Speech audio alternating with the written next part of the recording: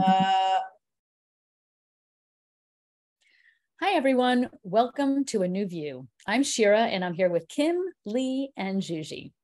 We are four friends, speakers, and professionals from different cultures, backgrounds, and age groups coming together to offer healing and inspiration. You know, there's nobody on earth exactly like you. I'm an identical twin with the same genetic makeup. And for as similar as we are, we also have some pretty different personality traits. So, what exactly makes us unique? Girls, what do you believe makes you unique? Um, I actually love this question, Shira, because I feel like something that I was really striving for for a really long time is to fit in, right? Like we, especially in adolescence, we have a real desire um, for like social acceptance. And so, like, whatever was trendy and cool i like i needed it. I wanted it. I i had to have it. And i always thought that those were the things that were going to help me have friendships and be close to people. And uh, that being accepted by others was the thing that was going to make me uh, happy and satisfied. So to actually dig into my uniqueness uh, didn't become a priority until I felt like I was so lost in other people's expectations of who I was meant to be and this persona that I had created that um, that I ended up going on this journey and finding human design. I know, I know. I talk about it a lot. Um, there's actually a meme about that.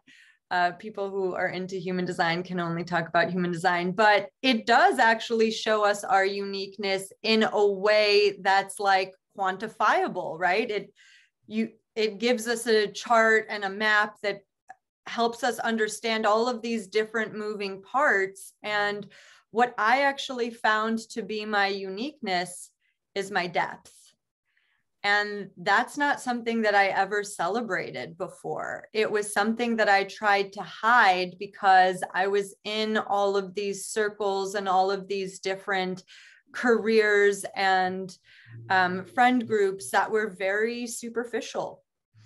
And I was very superficial. And once I was given this permission slip that my depth was the thing that I was here to embrace and like sink into, that was such a relief.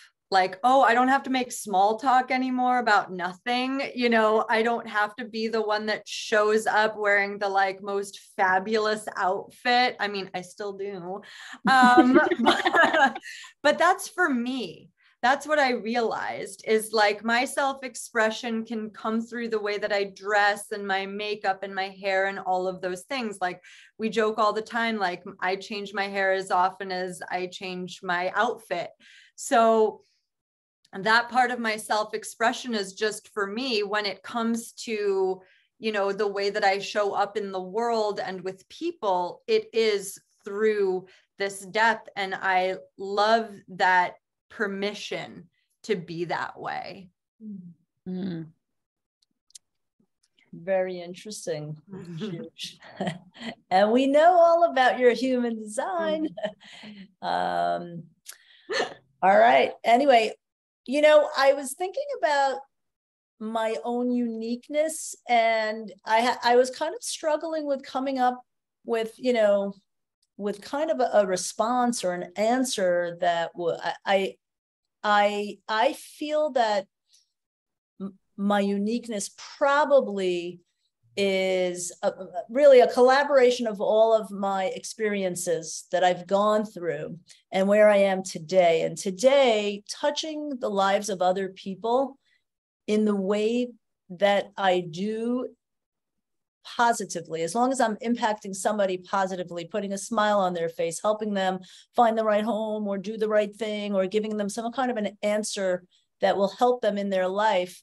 Um, I I feel like it's it's something that I've probably practiced, I've done, and I'm getting better at. And I just feel like it's something that also really feels good to me. So I I'm not here to say that this is my you know th- this is my skill and i'm so great at it but i feel like it's a uniqueness it's a unique uniqueness within me that satisfies me. And i know that i've been doing it a lot more in my life because i've i've gained the experience and and understanding of myself better and uh, and the confidence and uh, and the people skills which i love. It's one of my favorite things is just interacting and connecting with people.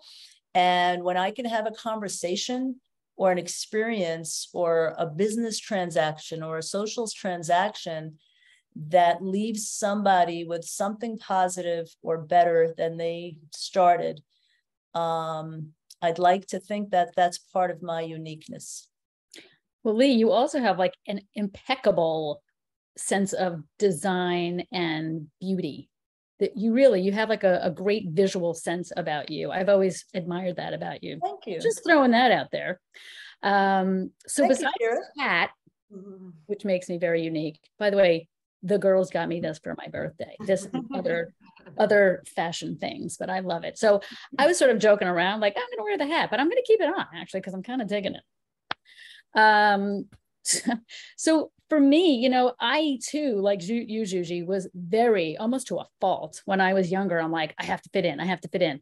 My problem was that i wasn't really uh i wasn't able to because like I just remember one of the frustrating things growing up was that like I grew up in a pretty affluent neighborhood and all the girls had the latest and greatest and you know got driven to school in a Cadillac and I just could not keep up with it. But I just remember feeling less than because you know I wasn't taken shopping a lot. And even when I did it's like no you can't get that. It, you know it has to have cotton in it. It's too expensive. It's this whatever. It was just frustrating for me but it also helped me be more resilient in my life and as I've grown up, I really I, I'm owning the fact that music is my my special thing. I love making people feel through words and harmonies and melodies and song. And like my name Shira actually means song in Hebrew, which thanks, mom.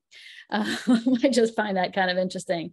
But for me, music is like so part of my soul and i feel like i've evolved musically throughout my lifetime because like i used to write all kinds of you know fake pop crap and then i got into like children's music and now i'm evolving into sort of the spiritual inspirational realm of my songwriting and it feels good to like i finally feel like i'm in this yes this is a space that's fine. i still love the children's stuff like i definitely want to keep doing that but this new avenue of writing more spiritual and inspirational songs just feels so good and in the past i would be like yeah it's okay whatever and now i'm like all right well i'm just going to keep writing i'm just going to keep writing and keep getting better and keep collaborating with people like that's just my journey and i feel like I feel like I'm on a path with that, which feels really good.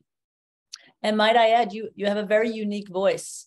It fits very well with that genre, you know. And I know you did a song recently, and you sent it to us, and it, I was like, I was very impressed. Oh, honey. It's it's amazing that you know that kind of a voice when you sing comes out, because I'm not, you know, when we speak, it's very different. I'm yeah. not saying you have a bad voice when you speak, but you know what I mean. No, it's no, no. and it's interesting because I don't even want to be an artist. I actually want to um, license and have other people record my songs. That's kind of my goal. Right. Yeah. But you never yeah. know. You never know these no, days. You just got to put it out there and who the hell knows what could happen, right? Yeah. I love that we're doing this topic, by the way, because how often do we or people in general like take a moment to take stock of like their unique gifts, like what they have to offer the world or themselves. Which I think it's rare, probably. And so it's it's nice to have kind of this like doing this episode. It really forced me to think about it. And you know, I was thinking, oh, I'm good at so many things. I, I, love gifts. Oh yeah, I do this and yeah, I'm you know good at this, whatever. um, but at the end of the day, it all came down to one thing. All of that leads into, which is um, loving. Like my unique gift is love. It's loving myself, it's loving others. And I'm getting better at all of that day by day because it's a journey. But it's definitely my unique gift. Um, I find that it comes out in words that I speak, it comes out in words that I write, it comes out in gestures that I am, you know, I give to people. It comes out in all sorts of ways. And um, it really just feels so good. It's like this innate knowing, like, this is why I was put on this earth. This is my purpose. And I, you know, there's the, that quote that's on my computer actually that I read to you guys the other day. The meaning of life is to find your gift. The purpose of life is to give it away. And when I thought about that, I was like, love, like love just pours out of me so naturally. And I see the way it affects others. And I'm working, always working on the way it affects others is how I want it to affect me. Like I want to give myself all the love that I give others. Mm. So I find that the just love is my gift. And Juji, I love what you said earlier. You said the, the word permission mm. because I feel like in the past I would never have given myself permission to like even admit this to myself. Oh, good at loving. I'm good at loving others. I'm good at I don't know. I just it's something that I really feel like in the last 5 to so years have really embraced. Um, and I look at it like my superpower now, where in the past, I would have just thought I was like bragging in some way, you know, and I would never have said those words ever. Where now I'm like, no, this is my superpower. And I'm meant to spread my superpower all over the planet. you own it, girl. oh, we feel it. Your it is just your love just oozes. Oozes, girl. that's your middle name. I feel like remember when we did the episode about not dimming your shine? Yeah. I feel like this kind of goes hand in hand with that because that permission given is not just to yourself to admit the fact that you know there's things about yourself that you haven't really been paying attention to or cultivating or being, you know, confident or braggy about. Like, even just like, I don't want to make this like a gendered thing, but like, when do men ever feel bad about bragging? You know, mm-hmm. like they don't even call it that. They just call it being confident, you know? So it's like, can we just be confident all right? Like be confident stupid. Like whatever your unique gift is like let the world see it and let it shine confidently. Like i know that there was a time in my life where i would have been like who do you think you are saying that you have depth? And it's like uh i've collected a lot of it over the last almost 39 years so i feel like i have I've earned it. You know what I mean? Like there it's it's part of my like badge of honor or something that I get to say that about myself. But when I wasn't aware that that was what was like lackluster in the way that I was communicating, you know, part of the evolution is seeing how other people see you and what they would say about you you know mm-hmm. and i think back to like how people would describe me in my teens and 20s like they would probably say that i was fun and that I was a good time. And I remember like people signing my yearbook and being like, that party was great, you know, like, because I was, I was the life of the party because I wanted to be well liked. And Shira, I grew up in a very similar circumstance. You know, there was a lot more affluence around me than there was in my household. So I wanted to be the fun one. And that translated to just having as many friends as possible. It's not, it wasn't about the quality of friendships, it was about the quantity mm-hmm. to prove to myself that I was likable. But when I started liking myself and embracing the gifts, I feel like some people fell away. That's true. Some people came back some people came back and they were like, This is what I've been waiting for from mm. you. And then new people showed up like you guys and i feel like just the level of intimacy between us is so much more authentic that you know i never want to hide that again i never want to you know go back like you can't you can't stuff that back in the closet anymore it's just about you know like how how much more can i lean into this you know and, yeah. and usually just want to point out that because you have connected with being deeper and digging deeper within yourself i've noticed just from knowing you the past what four or five years that your relationships are now filled with depth more than ever right mm. Yeah, it's so interesting. Like when we really are true with ourselves, like when we own that uniqueness, like it just starts blossoming in very interesting ways. But you know, you guys know, so I do this motivate program, and it literally is the word motivate with eight, um, you know, tenets or skills. And E, the last one, is expression. And I I remember so many incidences over the programs that I've done where because it's it's typically mothers and daughters that I talk to, where I say, you know, what's your form of expression? And just such hesitation like raising hands like sometimes like someone will raise their hand like well you know i wanted to i really love designing jewelry but and then that just all the excuses came out like well i can't because this and that and and and i'm like just go back to it. Just just just decide you just have to make a decision right? Like once you own your uniqueness you're like uh, you're you're doing the world a disservice by not sharing it with the world and um and the only other sidebar thing that i want to say is that i I, have always known that like sense of humor is really important to me. But one of the things that I feel makes me unique is the the ability for me to be both um, really raunchy and you know, like make faces, you know, mm-hmm. like that kind of stuff, but also to try and show some sophistication. I think I'm I think I'm sort of embracing that duality that I have where I can be like I can be like put together and then I can just like say shit that's off the wall and make like the most disgusting ridiculous faces that's why children love me so much i really do believe that because i have that that combination of uh of qualities. So yeah, I think all you need now is some tickets to the Kentucky Derby. you'll fit right in. and uh, a hundred dollars on give me a good name of a horse. I can't think of a good name sit of a with horse. the shit. That's the name of the horse. sit, no, sit with your shit. With your shit. And it's sit with your shit on the outside.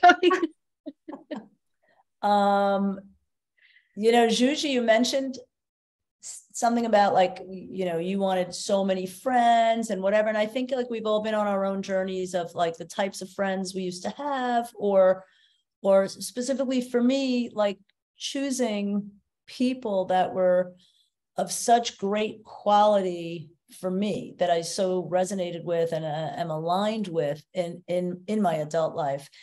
So I just want to point out that our group here and what we have is so so unique. It is so unique. We are so blessed. Um you know we all have other friends outside of this of course. I have some uh, i have some well i mean I, I have some amazing friends also outside of this. I do, I do, and I have uh, you know another little group, and then a, a few individuals. How dare you, Lee? How dare you have friends outside of I'm us? not cheating on you guys. I'm, I'm in love with you guys, but I just wanted to point out that these types of friendships and these that is unique in and of itself in life, and it's oh my god it's it's such a gift such a gift to have because without our people without our support without people that think alike and want to grow in similar ways and are open and and they're you know they hold a space for you um that is more unique to me that I have than anything that I can offer anyone on my own. It's it's it's what I have in my life that's that's enriching my life so I could be a better person. Mm. And Lee, your your unique gifts that you give to us or anyone else in your life, that's why you're attracting people like us into your like it it's all you're doing it's all you girl we, we couldn't girl. You couldn't have this unique gift without you offering your unique gift it's it's I want to I want to yeah. actually touch on something that Shira said, which is that, you know, she has, you know, this elegant outfit on right now. And then there's the goofy side and the raunchy side and the, all of this stuff. I think that's actually a really good point because I felt like being multifaceted was just going to be like confusing for people. So I chose a lane and I stuck to it. And that's what I've really started to understand is like we can be so many different things in one human being. Mm. Like, you know, I love to get dressed up, but do I love to also build things and use power tools and like cook and clean? Hey, you didn't tell us about the power tools.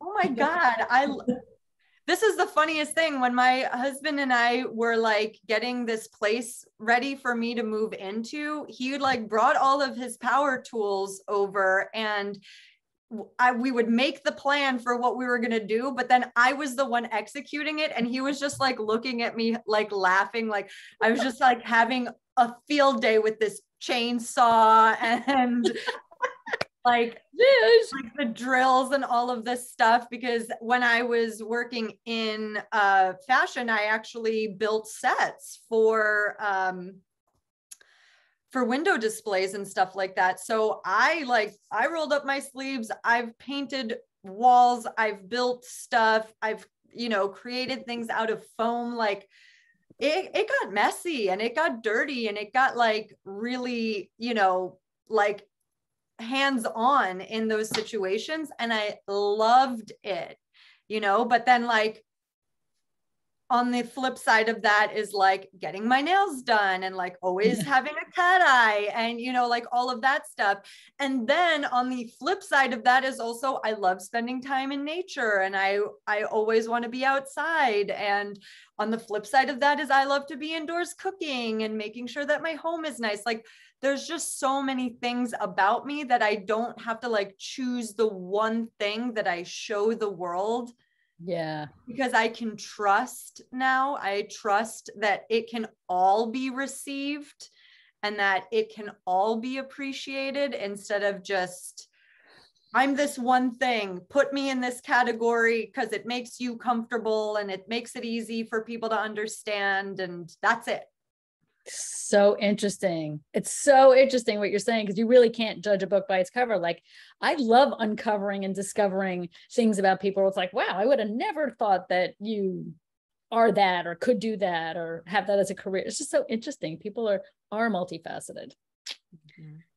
Well, my sweet, unique girls, this is a fantastic place to wrap.